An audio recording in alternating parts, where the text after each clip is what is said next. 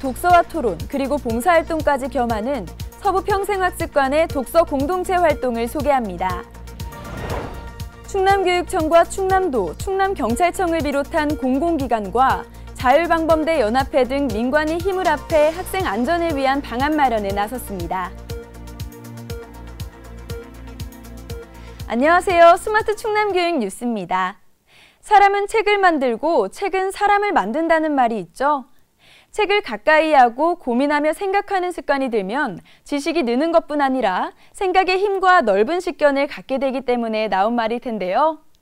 여기에 더해 다른 친구와 함께 책을 읽고 서로의 생각을 나눈다면 더욱더 세상을 바라보는 시각이 넓어지겠죠? 오늘은 책으로 소통하고 성장하는 서부평생학습관의 독서 공동체를 소개합니다. 충남 서산에 자리한 서부평생학습관. 학생들이 오순도순 모여 대화를 나누고 있는데요. 함께 같은 책을 읽고 진지한 자세로 토론에 임합니다. 책으로 소통하는 독서 공동체 활성화를 위해서 여러 다양한 분야의 독서 동아리를 조직하, 조직하고 운영하고 있습니다. 아이들이 토요일 날 매주 모여서 책 읽기도 하고 어, 독서 토론도 하고 문화 활동, 봉사 활동 등을 하면서 의미 있는 시간을 보내고 있는데요. 청소년 독서 동아리 학생들은 자신들의 성장을 위한 활동은 물론 귀여운 동생들이 독서하는 습관을 갖고 책과 토론에 친숙해지도록 봉사활동도 겸하고 있는데요.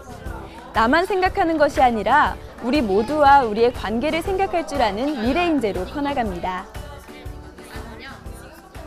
네, 아이들이 좋아하는 모습에 보람을 느끼기도 했고 특히 친구들과 함께해서 힘든 줄을 모르고 지루하지도 않게 봉사 활동을 했습니다. 이렇게 우리가 작게나마 활동을 준비했을 때 아이들이 잘 따라와주고 신나게 재밌게 하는 것 같아서 되게 보람찬 일인 것 같아요.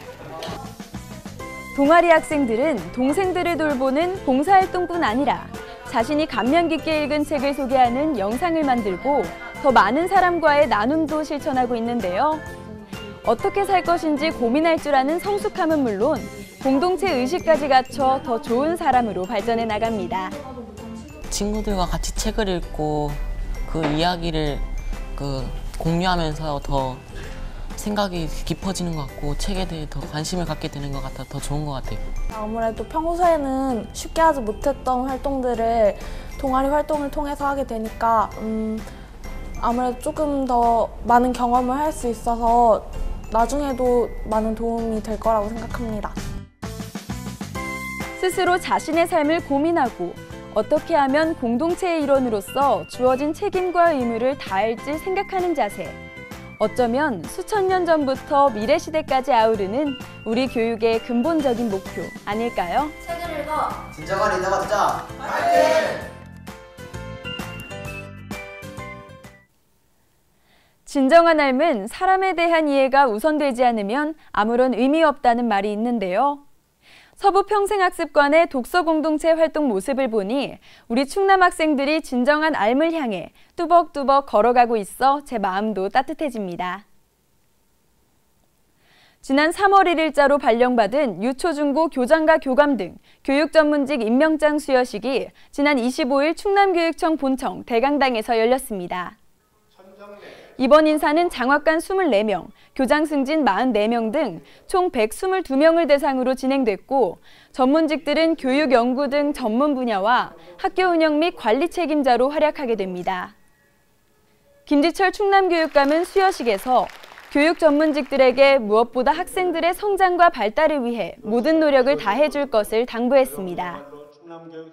충남교육청이 지난 26일 학생 안전지역 교통안전을 위한 민관학 협의회를 개최했습니다. 이번 협의회에는 충남도와 충남경찰청, 페트롤맘, 자율방범대 연합회 등 관계자 80여 명이 참석해 교통사고 줄이기 등 학생 안전을 위한 방안 마련에 나섰습니다. 학생 안전지역은 스쿨존, 어린이 보호구역, 식품 안전구역, 환경위생 정화구역에 네 가지 각기 다른 명칭을 통합하고 사업의 효율성을 높이고자 교육부가 입법 추진 중인 정책입니다. 충남과학교육원이 지난달 26일 국립대전연충원에서 신입생 140여 명이 참석한 가운데 영재교육원 입학식을 열었습니다. 과학교육원은 뛰어난 재능으로 주목받는 영재들이 국가와 사회에 대한 책임의식을 갖도록 하기 위해 4년째 입학식을 대전 현충원에서 실시하고 있습니다. 오창호 원장은 개인의 성공과 성과만큼이나 대한민국 공동체와 우리 사회에 대한 책임감이 중요하기 때문에 영재 교육은 물론 공동체 의식을 함양하는 교육을 지속적으로 병행할 것이라고 전했습니다. 충남교육청이 지난달 29일 퇴임 교육 공무원 및 가족들이 참석한 가운데 2016년 2월 퇴임 교육 공무원에 대한 정부 포상 전수식을 열었습니다. 이번에 정부 포상을 받는 교원은 총 177명으로 국가와 교육 발전에 기여한 공로가 인정돼 훈포장과 표창장을 받았습니다. 훈격별로는 황조 근정훈장 19명, 홍조 근정훈장 28명, 대통령 표창 33명 등입니다.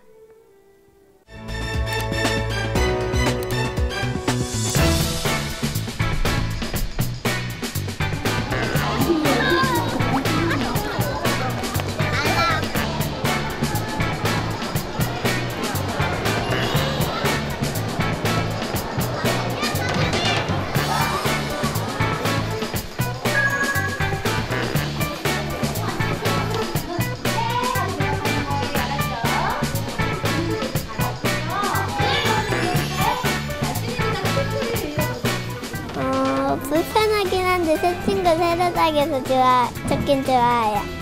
저 오늘 학교에 와서 좀 색, 색다른 것 같고 기분이 좋아요.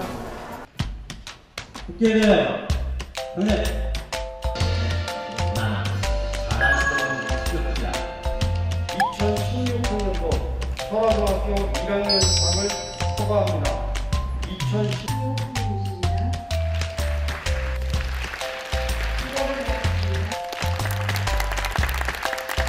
일단 중학교 왔으니까 뭔가 난 잘, 새로운 걸 배운다는 기대감? 공부도 열심히 하고 친구들과 학교 생활도 열심히 하면서 좋은 선배님들과 함께 지낼 설화중 3년의 모습이 너무 기대가 됩니다. 열심히 하겠습니다. 화이팅! 이야기 떡으로 내일 정답을 말하지 말자. 이 안에 뭐가 들어있는지를 보세요.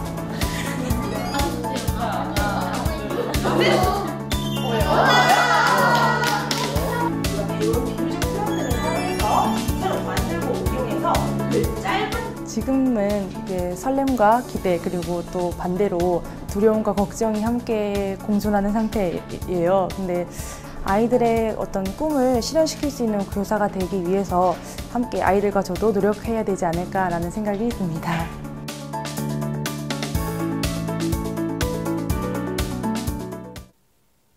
새로운 시작이 늘 모든 사람에게 즐거운 것만은 아니죠. 어릴 때 낯설고 불편해서 빨리 집에 가고 싶은 생각이 들었던 기억도 나는데요.